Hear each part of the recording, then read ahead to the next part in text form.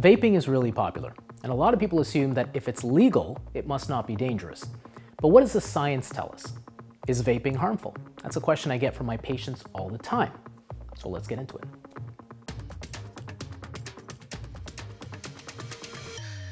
When you vape, you're inhaling something into your body. So the first question is what's in that vapor? It starts as a cartridge of e-juice, and if you look at the components in the e-juice itself, they seem pretty harmless.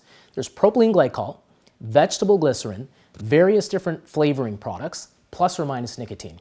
If there is nicotine, it makes vaping addictive. But what about the other substances? Well, propylene glycol is the main ingredient, and that's also used as a food preservative. It's used in asthma inhalers, it's used in those smoke machines you see in clubs, so it's nothing new. But to turn that e-juice into vapor, the e-cigarette uses what's called an atomizer to superheat that liquid.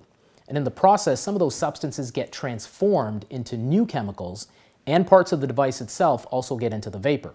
Close to 100 different substances have been identified in that vapor, including silicate particles, metal particles like nickel, silver, and lead, and a slew of chemicals like acrolein, which is a herbicide, and carcinogens like acetaldehyde and formaldehyde. Now, the idea is that vaporizing a liquid should still be less harmful than burning tobacco.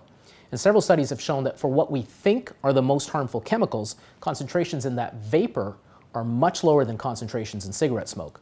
The problem is that we don't know what concentration causes harm, and e-cigarettes haven't been around long enough for us to look at long-term effects. Immediately after vaping, some people do experience throat or mouth irritation, sometimes headaches, and even cough. Many studies show that vaping with nicotine transiently increases both heart rate and blood pressure. More importantly, studies show that chemicals in that vapor do cause damage to human cells in a lab setting, and when we measure the effects of e-cigarettes in both animals and humans, there's evidence that vaping causes inflammation in the lungs, it suppresses the immune system, and it can damage our DNA. To go along with that, several studies suggest that e-cigarette users are more likely than non-smokers to have a chronic cough and phlegm, more likely to have asthma or flare-ups of their asthma, and more likely to have chronic obstructive pulmonary disease or COPD. They're also more likely to report heart attacks. Now, the challenge is that these are survey studies, so we can't be certain that the e-cigarettes are actually causing these complications. What we do know is that nicotine e-cigarettes are addictive, particularly in teenagers, and that nicotine can disrupt their brain development, which is not actually complete until they reach the age of 25. We've also seen some life-threatening complications from vaping. You might have heard of the term EVALI, which stands for e-cigarette or vaping product associated lung injury. This emerged in the summer of 2019 when thousands of e-cigarette users across the US and Canada suddenly became really ill with inflammation in their lungs. Over 2,800 people were affected. Most of those people were under the age of 35.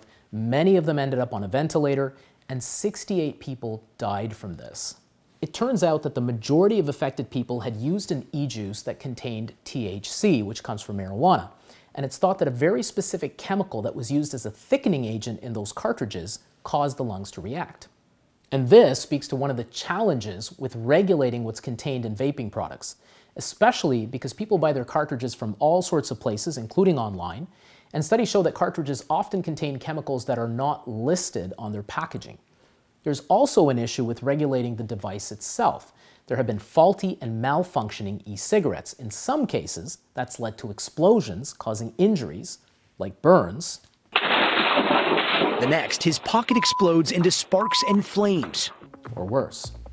Vaping's still pretty new, and the technology is constantly evolving.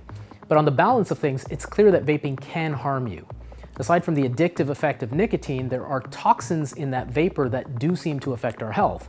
Those harms are probably smaller than with cigarettes, but that doesn't mean that they're not harmful, and their long-term effects remain unknown. Now, if you're a cigarette smoker and you're trying to quit, you may be willing to take that risk. But do e-cigarettes actually help you to quit smoking? For more on that, stay tuned and subscribe to the feed.